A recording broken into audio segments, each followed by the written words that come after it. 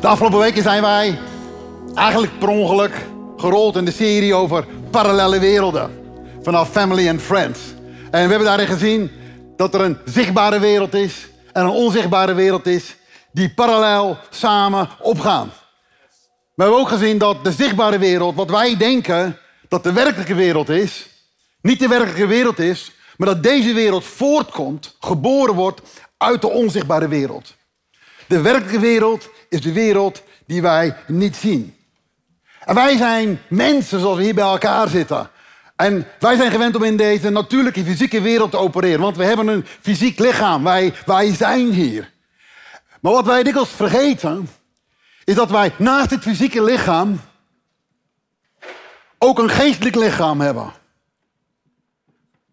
Een lichaam dat in alle eeuwigheid doorgaat in die parallele wereld die wij nu niet kunnen zien.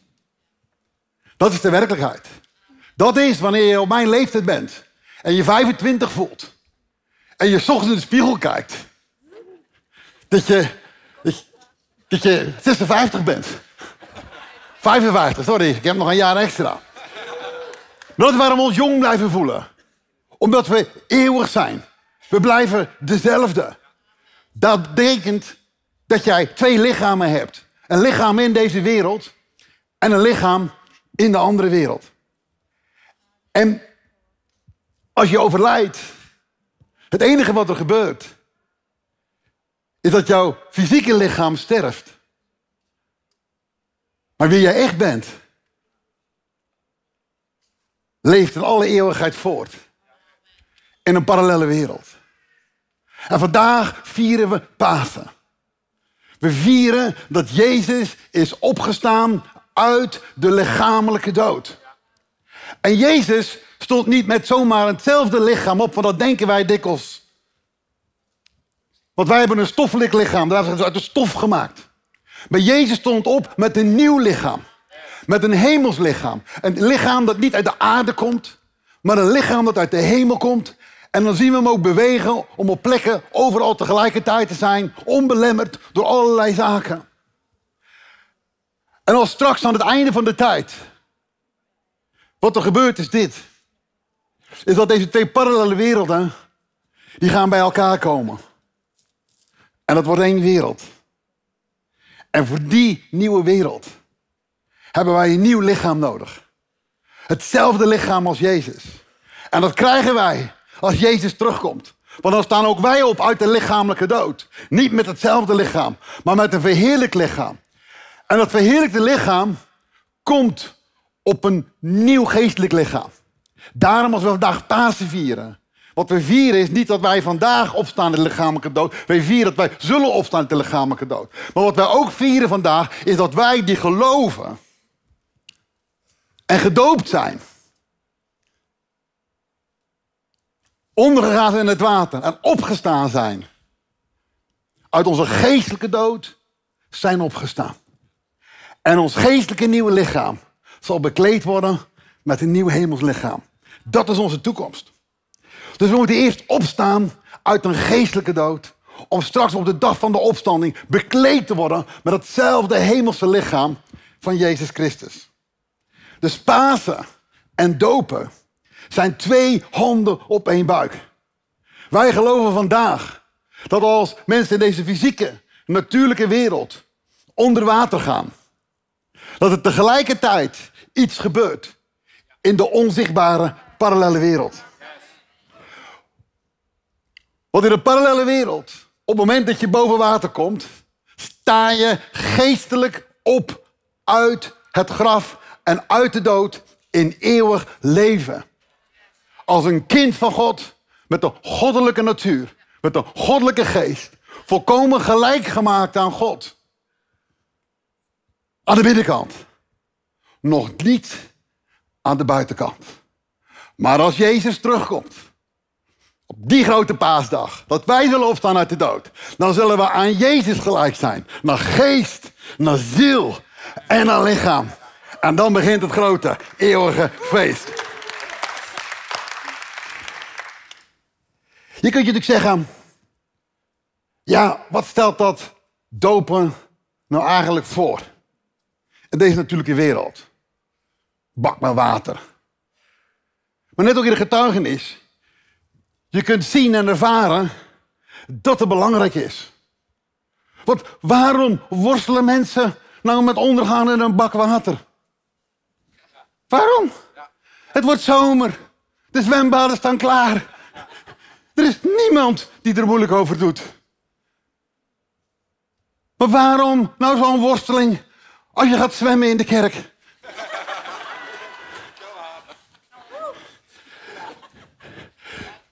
Omdat we te maken hebben met een onzichtbare, geestelijke, parallele wereld. Die precies begrijpt wat daar gebeurt als je dit doet in de fysieke wereld met intentie. Onze vijand die begrijpt wel dat er wat verandert. Maar als wij in de natuurlijke wereld kijken, denken ah, het is de doop. Ach, het kan volgend jaar. Het kan de volgende Pasen. Het kan de volgende keer. Maar als we onze geestelijke ogen, open doen, dan weten we dat het, we het niet kunnen uitstellen. Je ja natuurlijk, maar ik, ik, ik ben gedoopt als kind. Geweldig. Maar het is appels met peren vergelijken. De kinderdoop is geweldig. Het is het geloof van je ouders. Maar deze doop is een doop van geloof. In wat? Dat jij zelf persoonlijk opstaat in de parallele wereld. En een nieuw geestelijk lichaam. Volledig gelijk aan het geestelijke lichaam van Jezus Christus. Dat is enorm. En de machten van de duisternis, die weten dat. Beste mensen, dopen is niet zomaar een leuke ceremonie. Of een mooi ritueel. Of een soort beleidenis. Het is bewegen in de bovennatuurlijke, parallele, geestelijke wereld en daar de bakers verzetten. Dat is waarom je het maar steeds uitstelt. Dat is waar je zegt, ik doe het de volgende keer. Dat is als je zegt, weet je wat, ik doe het de volgende keer. Want dan zijn mijn familie en mijn vrienden erbij. Heb je er eens over nagedacht hoe vreselijk onlogisch dat is? Moet je voorstaan dat je in een brandend huis zit en het huis staat in brand.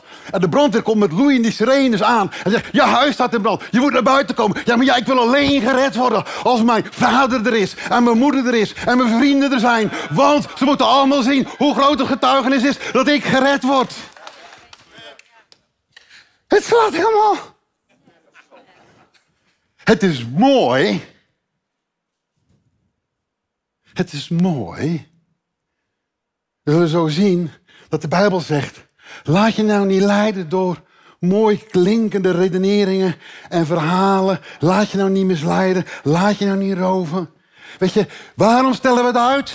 Omdat je niet gelooft in de urgentie van wat er gebeurt in de parallele wereld als jij hier in de natuurlijke wereld met intentie ondergaat in water. Want waarom kan je over een paar dagen, als het 25 graden is, met plezier van de kade afspringen en een hemelkopje ondergaan en bovenkomen en lol hebben? En als je hetzelfde doet met intentie in de kerk, dat je het niet kan. Of dat je het uitstelt. Of dat je heftige discussie hebt met vrienden en met familie. Dat is toch niet normaal? Het, is toch, het stelt toch gewoon niks voor? Jawel dus, daarom. Juist die strijd laat zien dat het zo relevant is. Waarom zouden we ons alle druk over maken? Zie, mijn, mijn verhaal. Mijn eigen verhaal. Voordat ik gedoopt werd, kende ik de strijd zoals Paulus die in de Bijbel beschrijft. Waarom doe ik wat ik niet wil doen? En waarom doe ik nou wel wat ik niet wil doen? Dus waarom doe ik nu wat ik niet wil doen en doe ik niet wat ik wel wil doen? Weet je, als je er goed over nadenkt, dat is de taal van de slaaf. Een slaaf wil andere dingen doen, maar hij moet de dingen doen die hem opgedragen worden. Het is de taal van iemand die niet vrij is. Het is de taal van iemand die niet zelf mag beslissen wat hij doet. Ik heb een continue strijd met mijn gedachten, met mijn gevoelens, met mijn verlangens. Ik wilde die kant op, maar mijn gedachten en mijn gevoelens en mijn verlangens wilden die kant op. En die waren sterker dan ik die die kant op wilde. Dus met andere woorden, Peter was gewoon niet vrij. Die wilde van alles en die vond dat het beste. Maar zijn gedachten, gevoelens wilden andere dingen en die volgde hij eigenlijk altijd. En terwijl hij dat volgde, baalde hij van zichzelf, want hij wilde die kant op. Maar hij ging die kant op. Peter was een slaaf. Peter was niet vrij. Hij was geen baas in eigen huis. Iemand anders was baas in mijn huis. En Paulus zegt dan ook van...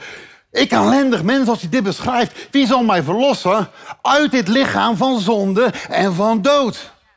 En dan heeft hij het niet, beste mensen, over dit lichaam.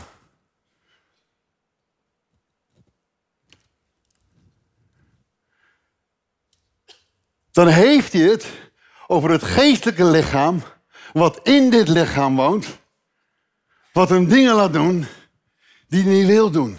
En hoe kom ik van dat geestelijke lichaam af? Hoe ga ik dat veranderen? Hij zegt, godzijdank. Het is Pasen. Jezus Christus, die kan dat doen.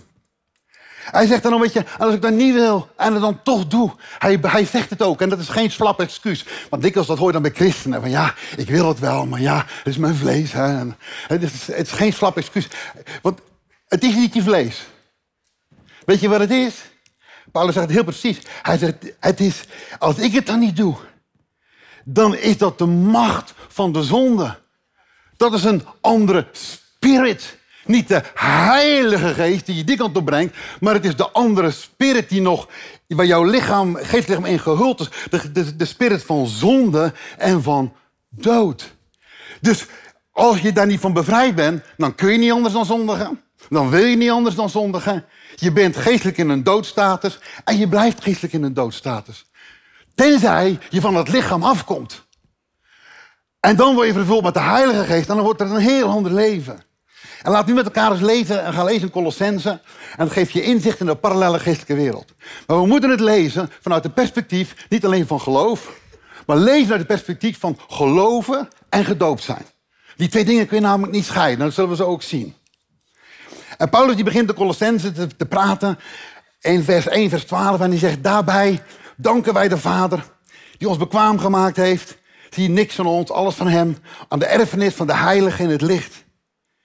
Hij heeft ons getrokken uit de macht van de duisternis. Ik zat van de week met Ilona boer vrouw te kijken, of twee weken terug, ik weet niet wanneer het was. Maar er werd bij die boeren werd zo'n kalf, werd van die kalf kwam uit die, uit die koe en er werd een touw aangebonden. Voeten tegen en trekken. Ja, en, en dat kalf komt uit een wereld, in een nieuwe wereld, maar hij wordt in die nieuwe wereld getrokken. En Paulus zegt, de Vader trekt ons uit deze macht van de duisternis. En hij zet ons over in een ander koninkrijk. Het koninkrijk van liefde. En lees dan in vers 14. Niet wij krijgen. Sommige mensen bidden van, oh Heer, bevrijd me. Nee, wij hebben de verlossing. En andere mensen bidden hele dagen om vergeving van zonde. Nee, maar we hebben de vergeving van de zonde. Want we zijn in een andere wereld. Maar wie waren wij dan voordat wij gedoopt werden? Wie ben jij dan als je niet gedoopt bent? Vers 21. En hij heeft u, die voorheen vervreemd was. Dus je hoorde, je begreep niet hoe het allemaal zat. Sterker nog, vijandig gezind. Oh, moeilijk hoor als je tegen iemand tegen de kerk gaat dat die vijandig gezind is. Maar het bleek uit de slechte daden. Oh, het bleek uit een onheilige levensstijl. En je bent nu ook verzoend. In het lichaam van zijn vlees. Doordat hij gestorven is. Maar moet eens kijken om u heilig en smetteloos en onberispelijk voor zich te plaatsen. Dopen geeft je het recht om te zeggen: Ik ben heilig, ik ben smetteloos en ik ben onberispelijk. Ik weet zeker dat hier heel veel mensen zitten die vandaag zeggen: Nou, ik ben niet heilig en ik ben niet onberispelijk en ik ben zeker niet smetteloos. En dat kun je niet zomaar zeggen, want we zijn zondaren. Ja, dat komt omdat je in de leugen gelooft. Dat komt omdat je denkt en redeneert en voelt in de natuurlijke wereld en je kijkt niet in de parallele wereld. Want Paulus zegt, ik zeg dit, dat je heilig, smetteloos en onberispelijk bent. Vers 4, en dit zeg ik, zegt hij. Ik zeg dit zo bewust, want ik weet dat dit je oncomfortabel maakt als ik zeg. Maar ik zeg dit zo bewust, zo intentioneel. Waarom? Omdat we anders allemaal verleid worden. Door te denken dat we onheilig, zondig en verkeerd zijn. En dat straks in de hemel alles goed is. Nee, hij zegt, en dit zeg ik u. Opdat niemand, ook de dominee niet. En Peter Pauwen niet. En alles wat je tegenwoordig op internet kunt vinden niet. Dat niemand u misleidt. Met wat? Met, met mooi klinkende redeneringen. Je zou dus kunnen zeggen, hij zegt, ik zeg dit met opzet. Waarom? En waarom zeg ik dit? Want mooi klinkende redeneringen kun je op een ander spoor zetten. Mooie preken. Mooie theologieën. Die kloppen met jouw gevoel. En die kloppen met jouw ervaring. En die kloppen met je omstandigheden. Ja, ik voel me zondig. Ja, ik voel me niet onberispelijk. Ja, ik voel me onheilig. Ja, ik voel me een zondig. Maar ik geloof in Jezus. Maar ik geloof in Jezus. Maar het zijn mooi klinkende redeneringen. Maar ik zeg met opzet dat je onberispelijk, dat je smetteloos en dat je heilig bent. Omdat niemand je zal misleiden met mooi klinkende verhalen die nergens op slaan. Met andere woorden, het zijn leugens. En ze zitten zo diep. Je moet vergeving vragen, al je zonden beleiden, iedere keer opnieuw. Diep zit in onze wereld. We hebben net gelezen, wij hebben. Waarom moet ik om iets vragen wat ik heb? Wij hebben de vergeving van de zonde. Waarom moet ik vragen, Heer, ik beleid mijn zonde en maak me nu weer smetteloos en rein voor u. Ik ben smetteloos en rein en heilig, want ik ben uit die koe getrokken en ik ben in een andere wereld geplaatst. En ik heb mezelf niet uit die koe getrokken. God hemzelf. Door Jezus heeft je eruit getrokken. Er is maar één zonde die je moet beleiden. Dat is de zonde van ongeloof in Jezus. En die zonde beleid je als je laat dopen door onderdompeling. Want bekeren is bekeren is je keren naar Jezus. Met een sterven en opstaan in een nieuw leven. Het is opstaan uit je geestelijke dood in geestelijk leven.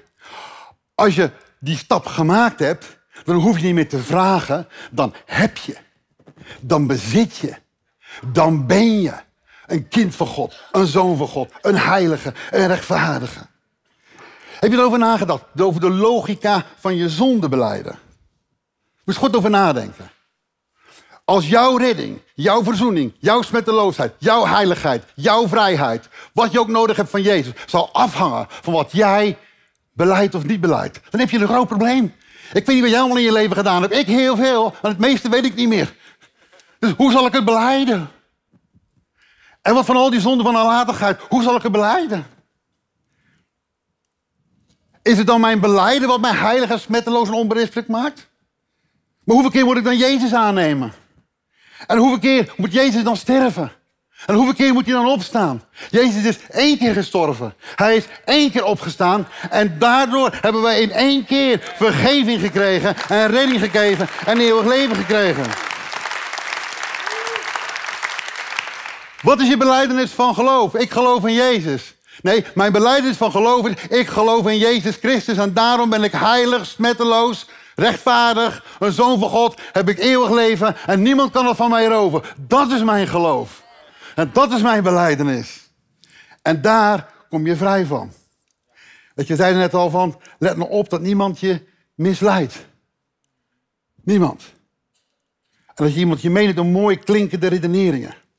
En dat gaat zo makkelijk. Ik zat pas in een meeting met 250 leiders uit Nederland. Die waren samengekomen om dit land te veranderen.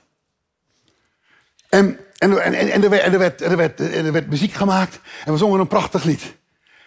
Jezus is overwinnaar. Hij, hij, hij zit op de troon. Zijn troon staat onwankelbaar.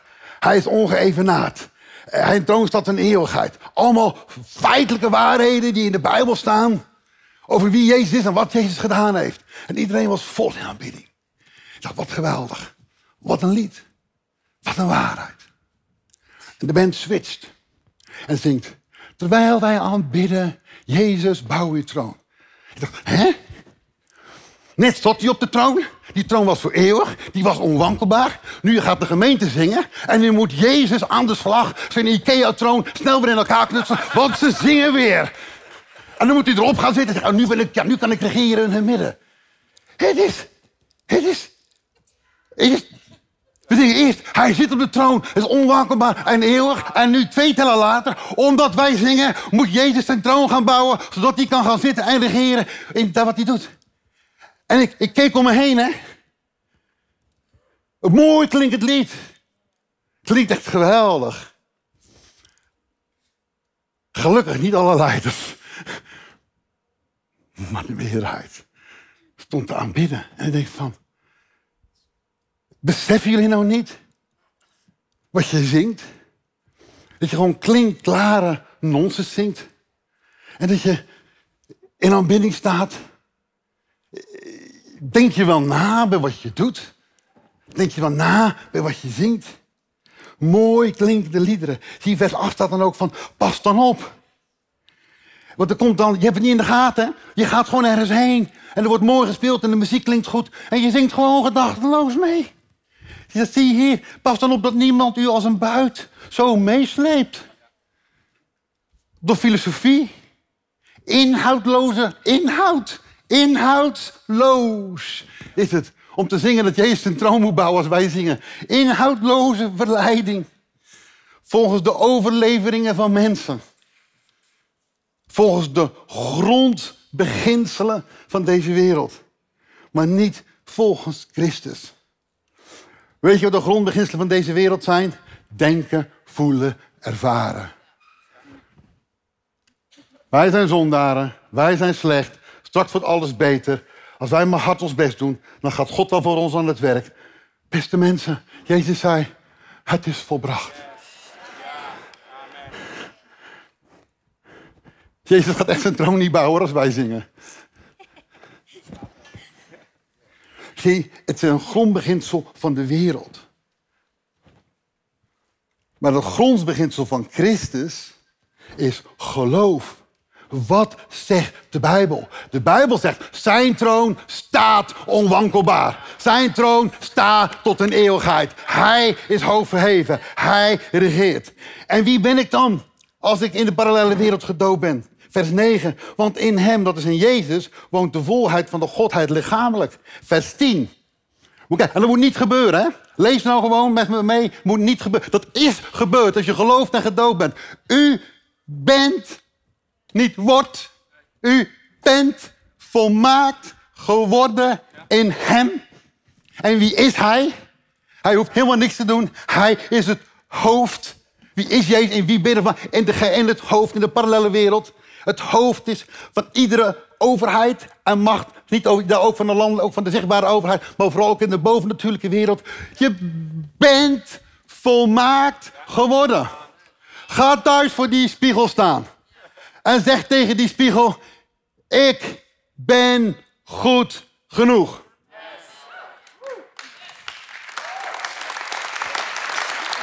Er zitten hier mensen die denken, nou ik ben niet goed genoeg. Zeg, de Bijbel zegt, ik ben volmaakt geworden in Hem. Zeg tegen jezelf, tegen je gevoel in, tegen je omstandigheden, tegen je ervaringen in.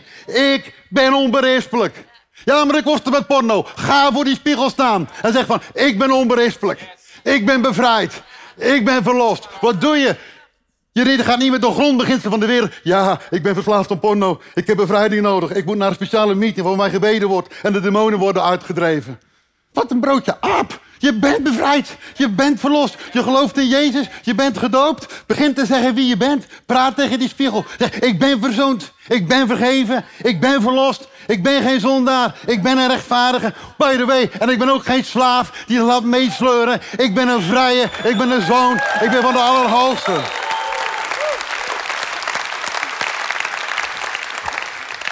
Ja, zijn mensen dan ik geloof in Jezus, maar dopen is niet nodig. Nou, dan moet je een man vragen die geboortebeperking wil doen. Hij zegt, ik geloof in geboortebeperking, maar ik hoef mijn zaadleidingen niet te laten doorknippen. Je mag veel geloven hoor. Maar ik vertel je dat jouw geloof niet werkt tenzij je knipt. Eens? En jouw geloof in Jezus gaat niet werken tenzij je besneden bent. Oeh. Vers 11. En in hem, hetzelfde hè, onberispelijk, heilig, smetteloos. In hem, niet wordt u, bent u. Ook besneden. Met de besnijdenis die niet met handen gebeurt. Gelukkig, godzijdank. Maar, hier heb je hem, door het uittrekken van het lichaam van de zonde van het vlees. En Paulus riep uit, wie zal mij verlossen van dit lichaam van zonde en dood? Hij had het over het geestelijke lichaam waar hij in gevangen zat. En hier staat, door de besnijdenis van Christus. En wat is dan die besnijdenis van Christus? U bent immers, zie hier de vanzelfsprekendheid? Het is niet van, ja, jullie geloven, misschien laat je nog eens een keer dopen. Nee, geloven en dopen horen bij elkaar. Dat is toch zo logisch als je ziet wat het betekent in de parallele wereld. Hij zegt, u, u bent immers met hem begraven in de doop verleden tijd. Het staat letterlijk onderdompeling tot blijvende verandering. Waarin u ook met hem bent opgewekt, boven water gekomen. En waarom doe je dat? Niet omdat het een mooi symbool is. Niet omdat het een mooi ritueel is. Er staat hier, je doet dat door het geloof. Omdat je gelooft dat God iets uitwerkt in de parallele wereld, wat jij niet kan uitwerken, op het moment dat jij je laat besnijden in Jezus Christus en het lichaam van zonde laat uittrekken. Met andere woorden, op het moment dat je in dat bad gaat, zie het als een wedstrijd. Als je surft bent, dan weet je dat zit helemaal geplakt aan je lijf. Je hebt soms bijna een ander nodig om het van je lijf af te trekken. Als je in dat bad gaat, het lichaam van zonde en van dood, dat wordt van je afgestroopt. Terwijl je in het water komt. Ja, dan ben je naakt. Goed gezien. Maar je moet eerst naakt worden. Voordat je weer goed gekleed kan bovenkomen. Het lichaam van zonde wordt afgetrokken van je leven. En als je boven komt, zegt de Bijbel, dan word je bekleed. Niet met het lichaam van zonde en dood. Maar met het lichaam van geest, van leven en van gerechtigheid. Je komt boven in een nieuw geestelijk lichaam. Je bent een nieuwe schepping, zegt de Bijbel. Het is niet dezelfde jij. Je bent een nieuwe schepping in, het, in dit fysieke lichaam, maar een compleet nieuw geestelijk mens inside. Niks meer van die oude. En die nieuwe geestelijke mens die is op dat moment uit God geboren. Die is heilig, onberispelijk, smetteloos. Zie, je bent niet heilig, onberispelijk en smetteloos vanwege de dingen die jij doet in het vlees. Maar je bent onheilig, smetteloos en onberispelijk omdat je uit God geboren bent. Dat je echt, dat uit God zondaren geboren worden. Dat je echt, dat die nieuwe geestelijke natuur die uit God geboren is, dat die zondag kan zijn. Dat je dat God zich tot dat niveau verlaagt. God heeft jou waarde geacht. Dat jij van binnen volledig aan Hem gelijk gemaakt wordt. Daarom noemt hij een kind van God. Daarom noemt hij een zoon van God. Daarom noemt hij je heilig. Daarom noemt hij je onberispelijk. En daarom hebben wij een hoop. En hoe trek je het lichaam dan uit? U bent immers vanzelfsprekend begraven door een volledige onderdompeling op Goede Vrijdag en met hem opgewekt met Pasen. Zie, hij heeft u toen u dood was in uw overtredingen en in uw onbesneden zijn van het vlees. Dood in je overtredingen, onbesneden in het vlees, met hem opgewekt. Mijn vraag aan jou vanmorgen is, niet geloof je in Jezus, maar in welke Jezus geloof jij? Het is Pasen. Wij geloven in een opgestaande Jezus. Mijn vraag is, ben jij besneden? Ben jij, is het wedstrijd van je lijf afgetrokken? In de volledige onderdompeling. Op basis van je persoonlijke geloof. Niet op basis van wat je ouders geloven. Heb je dat gedaan? Dan kun je zeggen, ja, ik ben met hem begraven. Ja, ik ben met hem opgestaan. Ja, ik ben een heilige. Ja, ik ben een rechtvaardige. Ja. En als je het niet gedaan hebt, in de geestelijke, parallele natuurlijke wereld, je staat als ware voor het graf en je zegt, ik geloof in Jezus. Maar je bent er niet doorheen gegaan. Je bent niet aan de andere kant gekomen. Je bent niet gearriveerd. Je roept ik ga het doen, maar je doet het nooit. Het is als zomer is. Je legt het vlees op de barbecue zonder de barbecue aan te steken. En je vraagt af waarom het vlees niet gaar wordt. Ja, mensen, waarom werkt mijn leven niet? Je moet het vuur aansteken. Vlees de barbecue. Sterven, begraven, opstaan. Laten we gaan staan. Ik zie de dooplingen, die kunnen niet wachten. Die kunnen niet wachten. Laten we wachten een applaus geven.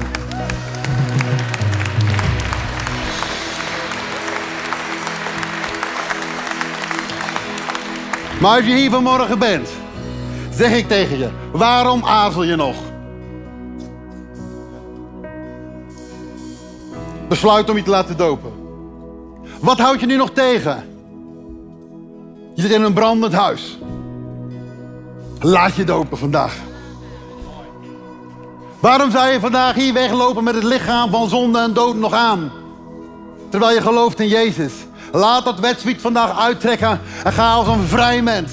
En als een nieuw mens in overwinning naar buiten in Jezus. Maar als je dat wil, kom alvast. Dan laat je, of laat je brengen, stoot je buurman aan. Zeg, wil jij dat? Ik breng je naar voren daar. Want wij dopen iedereen. We hebben droge kleren genoeg. Als jij gelooft dat Jezus de Christus is, dat het Pasen is, dat je als een nieuwe schepping kunt opstaan. Doe business met God vandaag.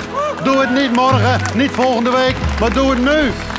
En kom naar voren en laat je dopen. Amen.